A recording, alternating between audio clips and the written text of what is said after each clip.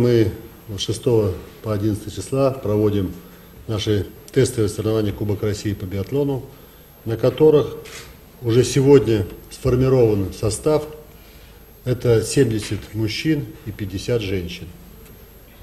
Состав формировался по рейтингу, текущему рейтингу на 12 января 2012 года из регионов.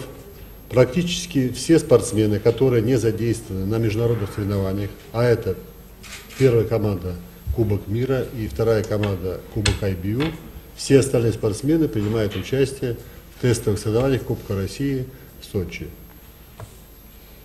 Вот мы, наша задача, в общем-то, посмотреть, проверить трассы, оттестировать трассы. Помимо спортсменов там будет работать сервисная группа, которая будет тестировать э, технические все части э, спортивного инвентаря.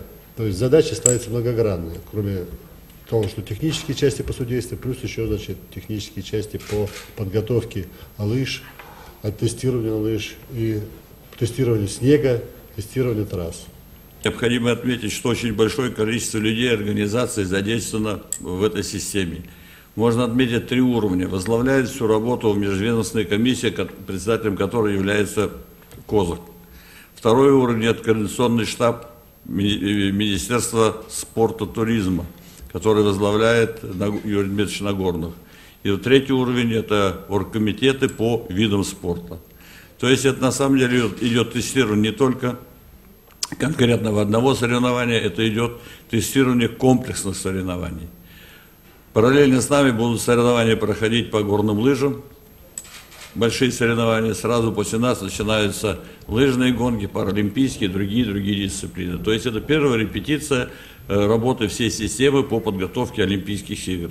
И, естественно, оргкомитет Сочи – кажется, является составной частью всей этой работы и принимает здесь активное участие.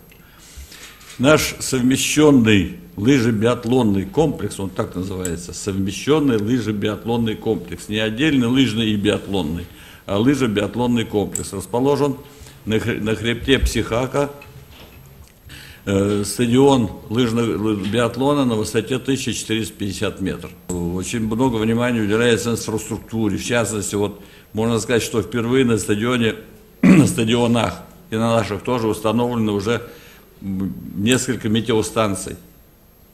Это очень важная составная часть информации, без которой, собственно, невозможно проводить соревнования. Потому что мы должны представлять информацию не только непосредственно перед соревнованиями, а вот э, в инвитейшене, который будет готовиться, мы должны дать информацию минимум за три года. Состояние погоды, на протяжении вот этих полутора месяцев э, тем, тому времени, которое сводится для Олимпийских игр. И поэтому сейчас гидро, гидрометеоцентр, говорится, уже активно работает, есть сайт определенный, и вы можете как раз, смотреть, чего нас ждет. Кстати, можно сказать, что вот с прогнозом в этом году, в этом январе они нисколько не ошиблись. Вот тот снегопад, который выпал, сейчас порядка трех метров снега уже выпало на Красной Поляне. Вот. Поэтому они не ошиблись, сейчас ждет небольшое потепление, и потом опять-таки будет снегопад. Лыжные трассы. Последний раз мы были там буквально 4 дня назад. Лыжные трассы э, пройдены машинами, снег укатан. Сейчас проводится большая работа по их, э, кажется, доведению до кондиции. Вчера приехала первая группа наших э, спортсменов, порядка 40 человек. Вчера приехали спортсмены Тюменской области, Москвы, Москвы Московской области, Чувашии. Сегодня они кажется, пробуют эти трассы, просто сейчас еще нет возможности с ними связаться, они на трассах. И первое впечатление, э, о чем говорил Владимир Михайлович, собственно, как, каковы трассы, вот, мы получим от них. Но я вам должен сразу сказать, что трассы очень сложные с точки зрения технического прохождения. Вот, и для функциональной подготовки, но самое главное для э, вот, подготовки с точки зрения горнолыжной техники. Очень сложные трассы. Значит, э, мы планируем, что у нас будет проведено открытие и закрытие соревнований, но принято решение о том, что программа «Зритель» на наших соревнованиях проводиться не будет. Будет ограниченное количество людей здесь.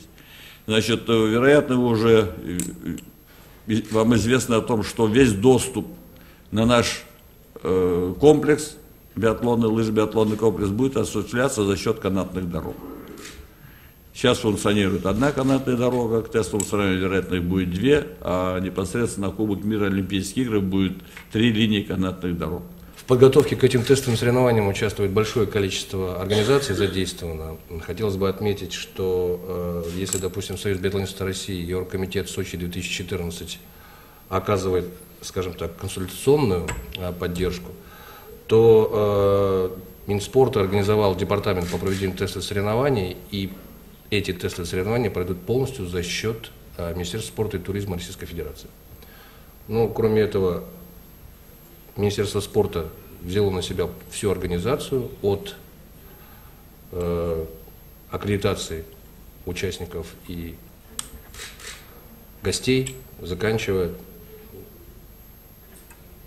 в общем, все организационные вопросы Минспорт взял на себя. Мы с этой стороны, э, со своей стороны, мы только оказываем консуль- консультационную помощь. Это очень хорошо, что за два года до Олимпиады проводится Кубок России, что можно тестировать стадион, так скажем, в бою.